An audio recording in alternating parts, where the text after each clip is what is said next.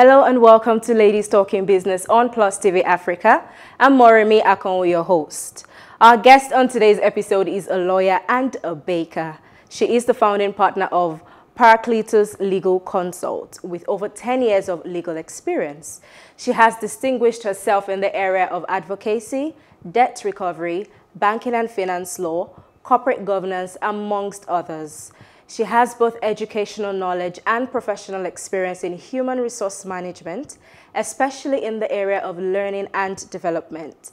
She is an associate member of the Chartered Institute of Personnel Development in the UK. She is the founder of Whisks and Crumbs, a confectionery that produces delicious and savory treats with different cake flavors. Our guest is Tomilola Taiwo. Hi, Marmy. Hello, Tomilola. Thanks so much for joining us on the show today. Thank you for having me. Okay, we're just going to go straight in. No problem. Tell us why or how Paracletus um, Legal is unique. What makes it unique? Okay, Paracletus Legal Consult is unique. Obviously, every every law firm is unique in itself. Okay. Um, and what sets a law, per, uh, a law firm apart from every other law firm is what they their practice areas, Okay. um, their uh, method of their ways of working, their professionalism. Um, I would say that's what set par sets Paracletus Legal Consult apart. Um, the practice areas which you have so clearly mentioned in your introduction. Um, also, the level of work and effort, the, um, the standard of um, professionalism that's being attached to work when we do work um, at Paraclet- Paracletus Legal Consult. I think those are the things that set us apart as a whole, as a law firm. And the dedication of the employees, dedication of employees is very, very critical. Um, and ensuring that we always, um, we're a law firm that takes emotional intelligence in and out of the courtroom very intelligence, yeah. seriously. Um, I feel that's an area of law that suffers a lot. Um, or well, not suffers a lot. That is not given as much attention as it should be. Everywhere, emotional has intelligence. just been ignored. Exactly. It's not always outside of work. You need it at work. We find that we need it in the courtroom. We find that we need it dealing with staff. Um, so, I mean, those are the areas that I think make sets us apart and um, helps us thrive as a law firm. So where did the name come from, Paracletus?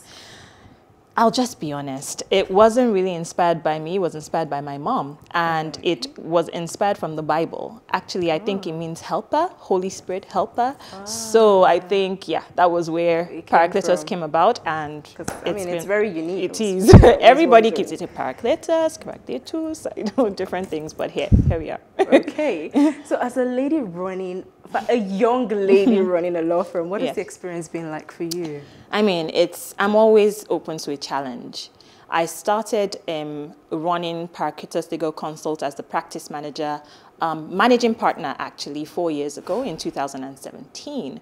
And it's been challenging, but it's been a welcome challenge. It's pushed me to learn more, to learn from people. I've had to deal with people management. I've, I've had to deal with um, sourcing uh, briefs for the firm. I've had to deal with proper structure. It's been a learning experience. I've been able to put everything else in my professional experience into the law firm as the managing partner. But it's been it's been a challenge, but a welcome one. So for you, was it like running a business or you just saw it as a profession? Because some people argue that law is a profession, not business. For me, I'll speak for myself. Law is a profession and a business. Why can't it be both?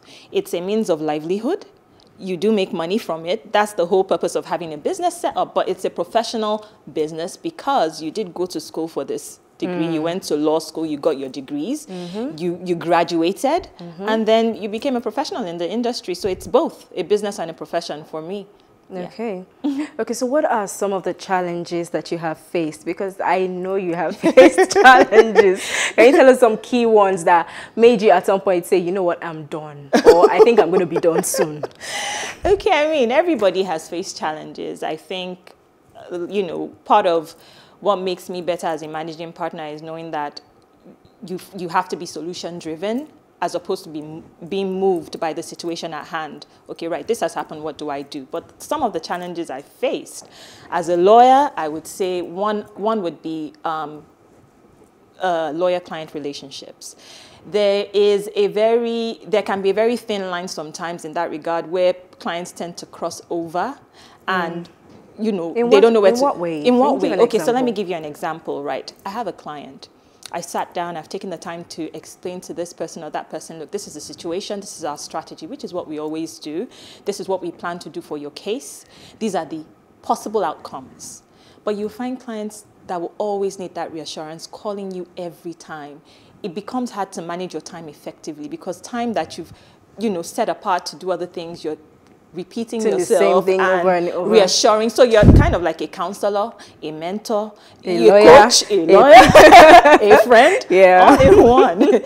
so I I, mean, that. that's one of one of one of the challenges. I've also had challenges with staff. I mean, I think every business always has challenges with employees at some point, but I had to take the bull by the horns. I had to find the right staff to fit Paracletus Legal Consult. I had to seek professional help in doing that, like recruitment. I do have experience in human resources, but I felt like, look, you can't do everything.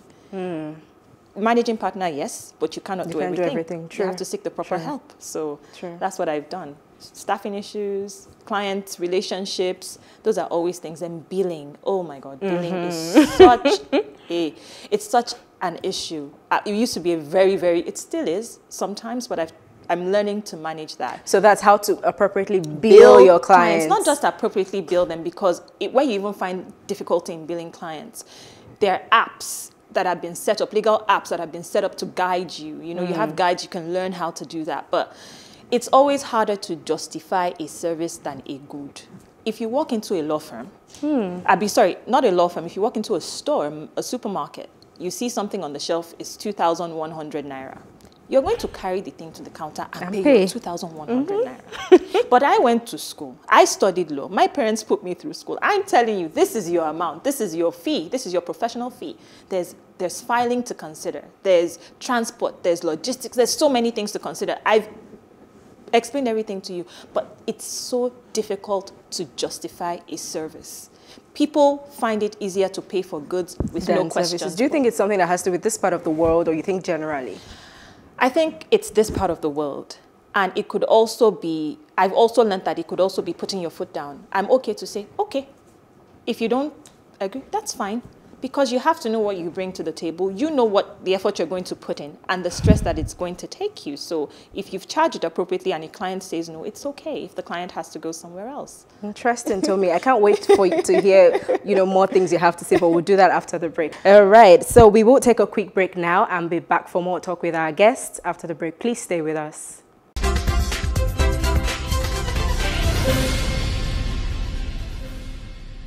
Thanks for staying with us. You are watching Ladies Talking Business on Plus TV Africa with our guest, Tomilola Taiwo of Paracletus Legal.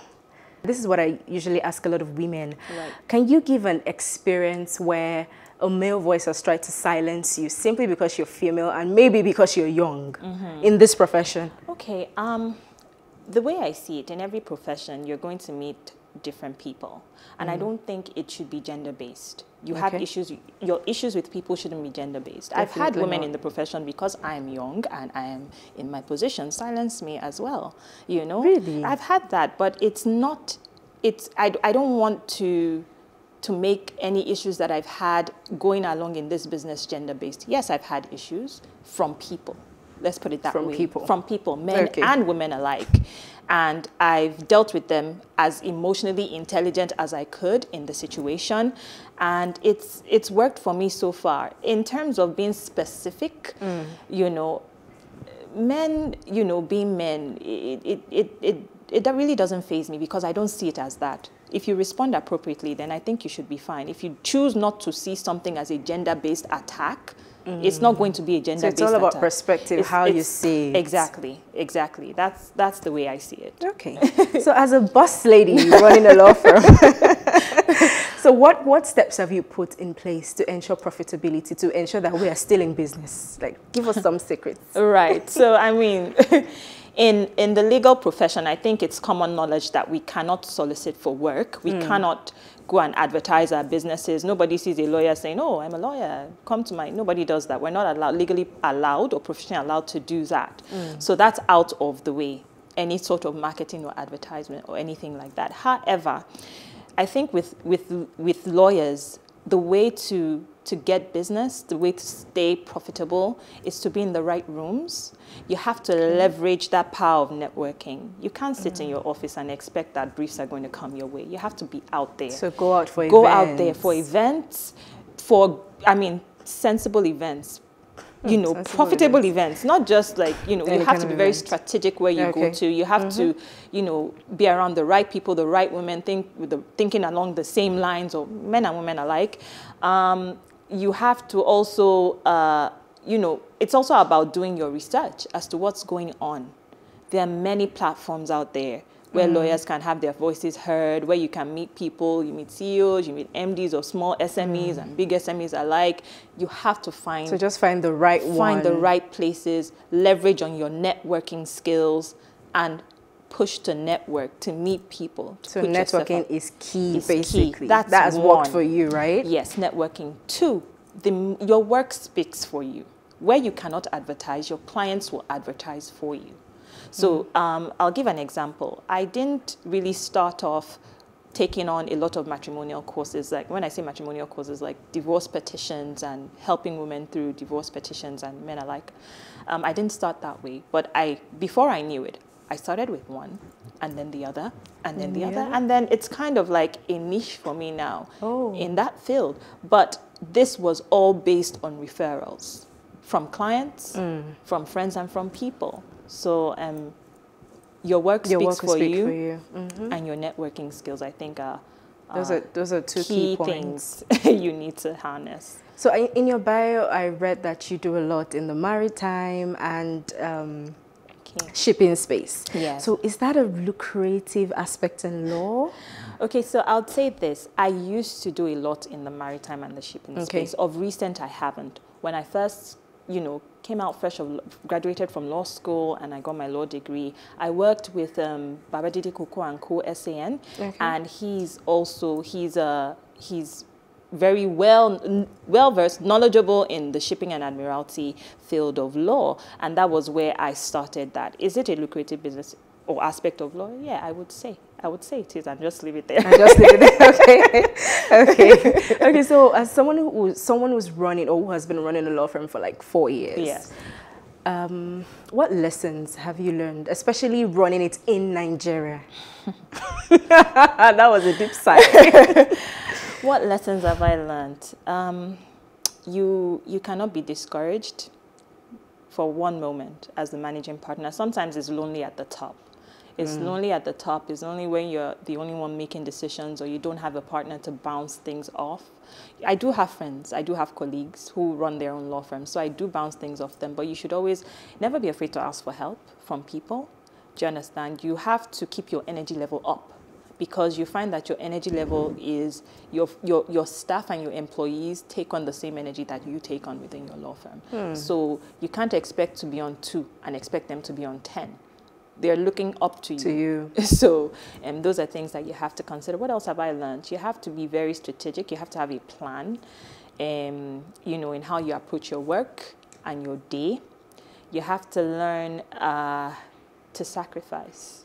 Sacrifice. yes, you have to mm. learn to sacrifice. There's some sacri sacrifices you have to make as the manager. There are some times where you have to deny yourself certain things so that you can keep the firm going, keep the work going keep the office going. So yeah, those are the interesting. I, I, believe Nigeria will make you learn lots oh, of lessons. Patience, temperance, emotional intelligence. Yes. Hey, we're still here. We're still thriving. We're still trying and hoping for the best for the future. Oh well, we wish you the best. okay, so we'll just take another quick break now and be back for more talk after that.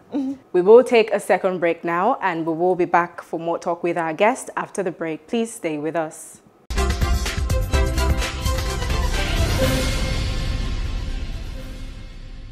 You are still watching Ladies Talking Business on Plus TV Africa. So far, we have been speaking with our guest, Tomilola Taiwo, a lawyer and entrepreneur. So, Tomilola, very recently we got, um, I like to say, invaded by something we all did not plan for, right. the outbreak of COVID-19. Yeah. How so basically because of COVID-19, a lot of us had to, everybody had to embrace technology, whether yeah. you wanted it or not. Yep. So tell us about some of the impact technology has made on your business running the firm? I mean, when you okay, when you don't have a choice, really, you have to get with the program. You have to find what works. Like I said, everything when you you're faced with an issue, you have to learn as the managing partner or someone who is in a managerial position, you have to have a solution-driven approach to everything. You know, COVID-19 happened. It affected everybody. There were law firms or businesses who already had a work from home policy, you know, set up. So they already knew what to do. Mm. We are a full service litigation law firm. We did not have or envision or hope for, I did not want a work from home policy. Nine to five, Monday to Friday, have your weekends to yourself. That's what I really think work should be. But when COVID, the outbreak came, we still had to keep up with our cases. We still had to follow up in courts. We still had to update clients, but we had to do it from the confines of our homes. So what did we do? Zoom, Microsoft, Microsoft meetings, yeah. emails, you know, uh, WhatsApp calls. What, what would you call it? So you had it, to just embrace you it. You had to embrace it. You had no choice. So yes, technology made a huge impact, affected our business, but also provided the so solution. yeah, I was going to say that. So was it a good thing or a bad thing? Was so did it do more good than harm or more harm than good? Okay, I would say it did. I would say it was half and half. Let me put it this way: it was bad because we were learning to work from home, where a policy was not already set up for that. Mm. Okay, so as with um, um, um, organizational change happens, it can have a good impact, it can have a bad impact. Employees could struggle with it a little bit. They struggled a bit. But it was good because it did provide a solution. This was our only hmm. solution. Hmm. So they were forced to pick up new skills. They were forced to understand how to work from home, how to use their systems, how to connect to Zoom, how to um, um, create meetings, mm -hmm. how to mm-hmm. schedule things with clients. They had to do it. They didn't have a choice. So yeah. Oh, well, so, so, so far, have you been um, embracing it more? Have you been doing the same thing or you've gone back to your Right. So I would say it's, it's kind of like half and half. Okay. So when we came back, we didn't come back fully. When the uh, lockdown was over, I think sometime in June or July, and everybody was beginning to pick up again their businesses where, you know, COVID had left them.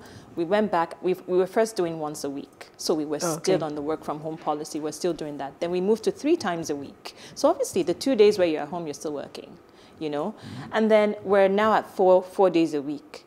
Okay. next year to start fully. fully. So we hopefully, we, hopefully, hopefully. so we eased ourselves into it. Mm. I always, I always thrive on easing people into things, things. and not throwing things at well, them because they need to way. adjust. Mm -hmm. So we eased ourselves, and it's worked. Are we still embracing the technology? Yes, we are, but not obviously as much because our um, litigation is very it's face to face. Basically. You have to be yeah. right in front of the person to do your work. So you can't really rely on that. The, the, the courts were even looking at doing like a virtual, like virtual judgment. Yeah, yeah, yeah. yeah everybody, like everybody was like, no, that's, that's not, not going to work. work. so yeah, we've, so, we've embraced it. Great, great. Well done. Mm. I want us to move now to the savory and sweet bit of your business. Right. Okay. So you are also a baker. Yes. And the name of the outfit is Whisks and Crumbs. Correct. Okay. Tell us about it. Whisk and Crumbs. That's like my baby project. It okay. came, it didn't even start off as a business. Honestly, it started off as a hobby. When I was uh, in, in the UK, I was living there just before I started running Paracletus Legal Consult. And I found that mm, times when I didn't want to go out, I just wanted to be at home and learn something. So I started baking and I really enjoyed it. So I took a few classes and I really enjoyed it. I'm like, oh, I really like this. And when I came back to Nigeria, I thought to myself, look, I don't want to let go of this. This is something and I enjoy, and I can make money from, from something it. that I enjoy doing. So mm. my passion drove me, and when I came back to Nigeria, I just started doing it. As a business. We're here now. mm, tell us about some of your flavors, some of the treats, some of the things you do. Okay, great. So when we started Whisk and Crumbs, I started thinking that I was just going to do like gourmet cupcakes, very unique cupcakes with feelings, different designs, just to give myself that niche in the market, you know, that kind of thing. But I, I decided, look, I don't have to tailor myself to one thing. So I moved. I took classes when I came back from dainty, dainty affairs, from ah. honey frostings, from I love desserts. I always believe that every year do something to upskill yourself. So, so mm. I said I said last year that I was going to do something to upskill myself, and I um, I started doing cupcakes. From there, I moved to celebration cakes, and then tall cakes, decorating cakes, and then I moved to savory treats like, like cinnamon rolls. And then when I took my dessert classes, I moved on to desserts, and I offer that you know. So we can get all of that if you we go into um, all um, whisks and all of that if we go into whisks and Okay, so but what makes the business unique? Because there are thousands of bakers in Lagos. I'm never going to say Nigeria. Yes. In Lagos today. So what makes you stand out?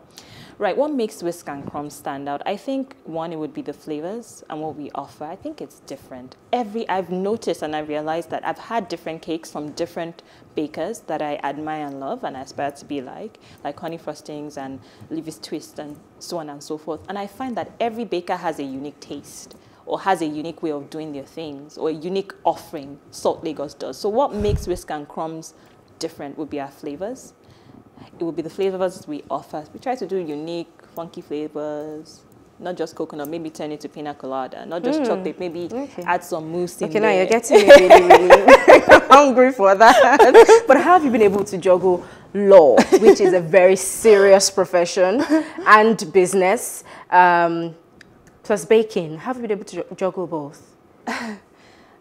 It's this it's a very sensitive to topic for me. This particular uh, question you've asked me because it's something that i'm still dealing with and i'm still learning how to juggle. But i've realized that there, there are certain things that have helped me along. I have to be disciplined. If i have to wake up at five to do certain things i have to wake up at five to do certain things so that i can get dressed get to the office or court come and you know so effective time management discipline mm. planning. Yeah. do not underestimate the power of writing your to-do list the day before. before.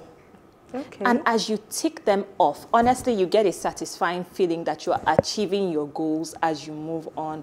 So I would say those are the things that have helped me along. You know, it's it's not it's not easy. I'm, I've deprived myself of sleep sometimes, but it's it is what it is, and it's the the sacrifice we have to make okay. business. So you run a law firm, and um, let me call it a bakery. Mm -hmm. Yes, you run both. Has Forex affected your business in any way? Because lately, dollar, pounds, they've gone from, in fact, it's like they're on another mm. level now. So how have you been able to manage that, both for law and the bakery? It's, it's ridiculous.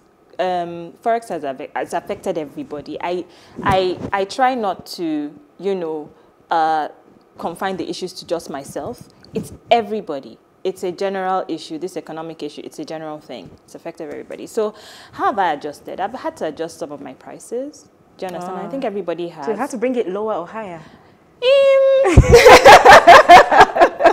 I've had to adjust some of my prices just a little bit. I mean, to accommodate the changes because when Forex went up, then the prices of things went up. Mm. Butter went up. I don't I don't hold back on the ingredients. I don't use substandard stuff. I use good quality things because I want my ta- my cakes to taste nice and different.